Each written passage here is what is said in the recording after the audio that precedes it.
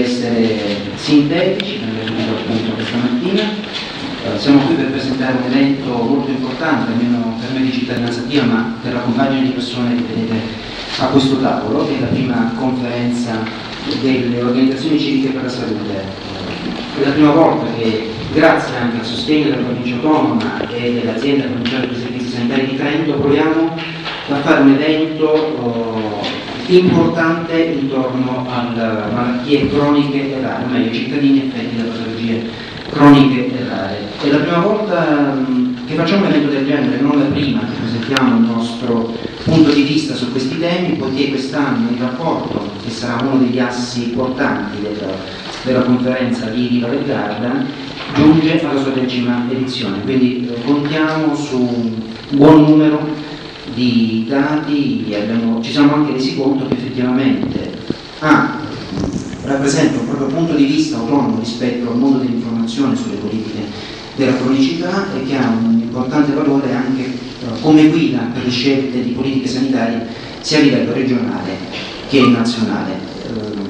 questo è il nostro auspicio principale, cioè la possibilità che da questa conferenza si apra una vera interlocuzione continua con tutti i soggetti interessati al mondo delle cronicità e che sia possibile portare il punto di vista dei cittadini direttamente nella cabina di regia delle strategie sanitarie. Cercherò appunto di non dilungarmi oltre, eh, passo subito la parola al vice segretario generale di cittadinanza attiva, Annalisa Mandolini. Eh, grazie. Nome di Cittadinanza Attiva voglio ringraziare sia i partecipanti sia i relatori di questa conferenza stampa che vuole presentare questi due eventi eh, la conferenza nazionale delle organizzazioni civiche per la salute e il decimo rapporto nazionale sulle politiche della cronicità, che sono due eventi fortemente interrelati, che già hanno diciamo, un'importanza in sé per un'organizzazione come la nostra, essere arrivati alla decima edizione di un rapporto sulle politiche della cronicità è già una cosa fondamentale. Averlo fatto con il contributo delle associazioni che compongono il coordinamento nazionale delle associazioni dei malati cronici è un'esperienza unica, credo, in, in Italia. Eh, ma questi due eventi assumono una rilevanza eh, particolare per il fatto che questo è il 2011 e il 2011 è stato proclamato dall'Unione Europea eh, l'anno eh, europeo della cittadinanza attiva, delle attività volontarie che favoriscono la cittadinanza attiva. Uh, questo uh, ovviamente potete capire bene come per un'organizzazione come la nostra questo uh, carica di un significato particolare anche gli eventi che facciamo. Abbiamo voluto che il logo dell'anno europeo fosse presente anche a caratterizzare questo evento.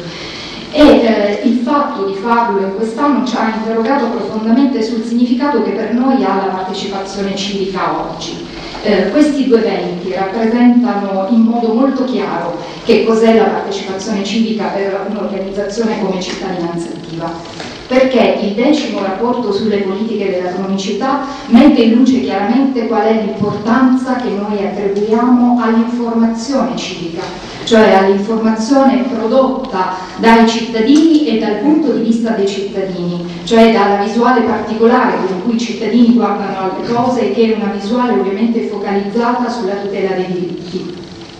L'informazione civica è oggettiva, eh, mette eh, a frutto le competenze e le conoscenze irrinunciabili che un cittadino ha, poiché è il protagonista diretto, eh, è eh, anche il soggetto affetto da una patologia e quindi più di ogni altro è in grado di capirla e di eh, produrre delle informazioni che la riguardano.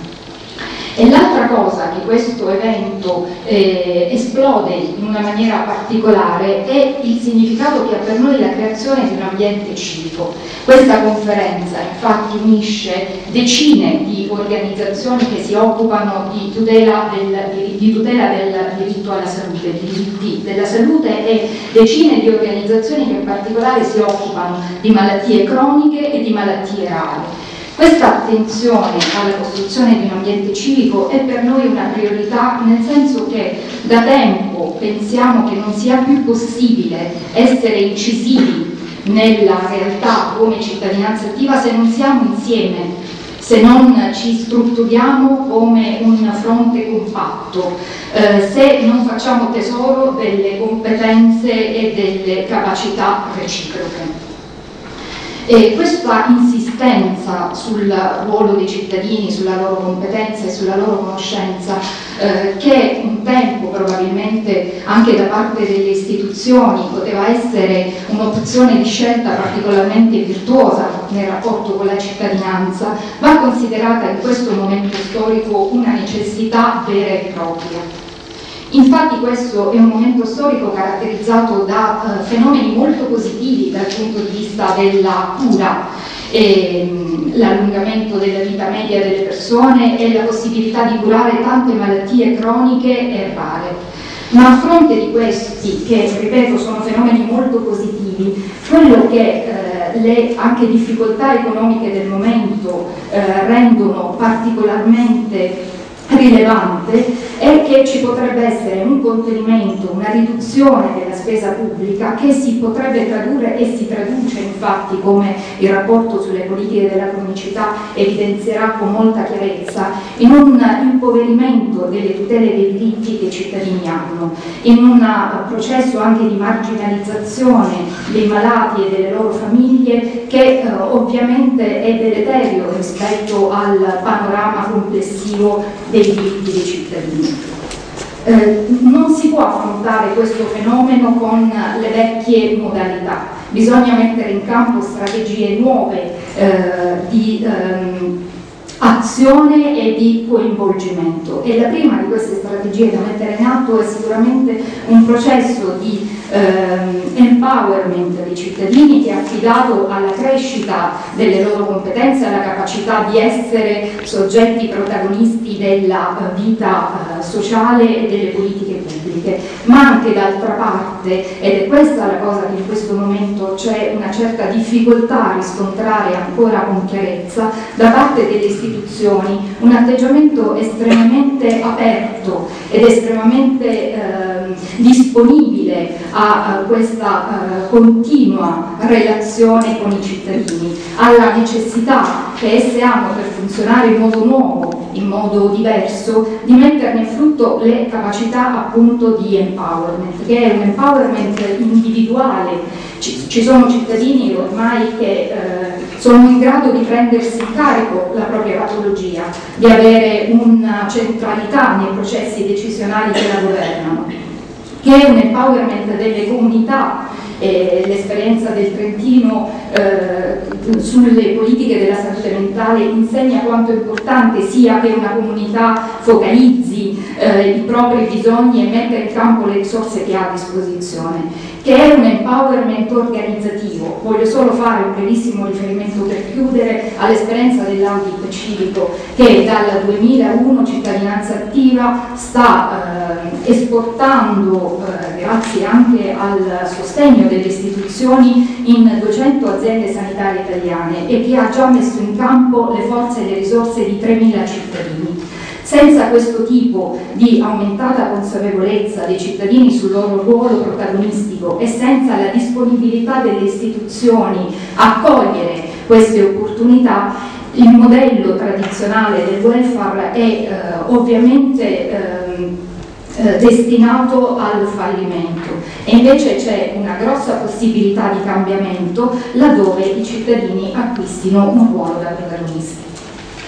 Eh, grazie mille, avete sentito appunto il riferimento che abbiamo fatto ai progetti relativi alla salute mentale nel Trentino, che sono un fiore all'occhiello, guardo anche il direttore generale dell'azienda sanitaria, non solo per il territorio ma anche per noi abbiamo premiato questa esperienza quest'anno come una delle migliori in Italia per il coinvolgimento diretto delle persone nella gestione delle patologie e non solo. È uno dei motivi per cui abbiamo immediatamente accettato questa proposta che ci è stata fatta da, da Luciano Flor, direttore generale della APSS di Trento, ovviamente anche dall'assessore Ugo Rossi a cui passo la parola, proprio perché è un territorio particolarmente significativo per il coinvolgimento dei cittadini nelle scelte delle politiche sanitarie.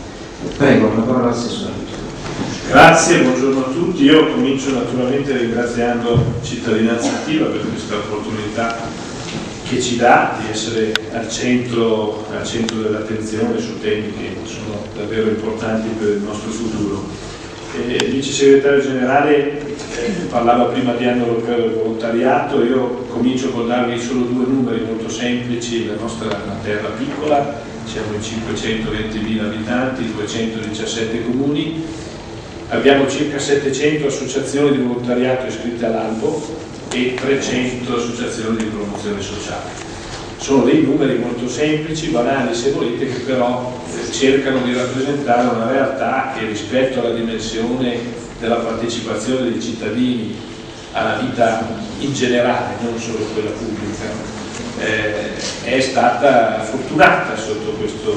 sotto questo profilo. E naturalmente noi questo fa parte un pochino anche dei caratteri così costitutivi della nostra autonomia speciale di cui godiamo, no? proprio il volontariato è una spina dorsale importante. E quindi siamo un territorio dove la coesione sociale e l'attenzione alla partecipazione è sempre stata molto, molto alta. Io voglio ringraziare la cittadinanza attiva però perché eh, in questi anni ci ha aiutato eh, soprattutto stimolandoci a migliorare quello che quotidianamente il nostro sistema sanitario cerca di fare al meglio, a migliorare soprattutto in un'ottica di collaborazione molto costruttiva. Non ho mai eh, così avuto timore di un utilizzo improprio di un rapporto di trasparenza nei nostri confronti reciproco perché è sempre stato improntato al miglioramento qui con noi c'è Pietro Fabri e voglio ringraziare per questo perché penso sia davvero un elemento importante del nostro sistema. Eh, personalmente io ho una convinzione che poi si traduce anche così in un approccio politico che noi cerchiamo di dare all'amministrazione della nostra terra, che è quella che la società civile, dobbiamo dircelo, spesso arriva molto prima dell'amministrazione, della politica, non parliamo. Eh, ci arriva prima perché i bisogni premono bisogni toccano direttamente le persone e le persone, grazie a Dio, si organizzano in funzione di questi bisogni. Compito dell'amministrazione è quello di cercare di soprattutto accettare questo, prima di tutto, e poi cercare di lavorare assieme in una logica appunto poi nella quale ognuno deve fare il proprio lavoro, ma in una logica di collaborazione. Noi abbiamo cercato con, con la nostra nuova legge di riforma del nostro sistema sanitario di eh, mettere un ulteriore tassello in questa direzione della partecipazione, al di là dell'istituzione una consulta delle associazioni, abbiamo voluto inserire all'interno del, dell'organo consultivo della giunta provinciale che si occupa di programmazione, cioè il piano provinciale per la salute passa da quest'organo che si chiama Consiglio, Sanit Consiglio Sanitario Provinciale, un rappresentante delle associazioni